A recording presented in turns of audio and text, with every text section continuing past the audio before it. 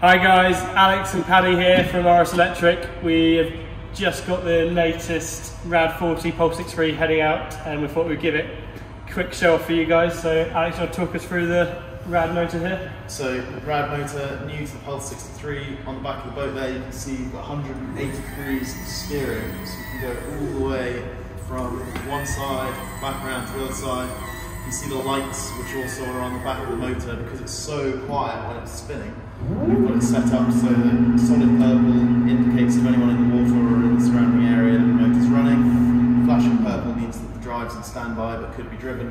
And when you take the kill cord off, it goes to white, which means that it's safe for everyone around in the surrounding area.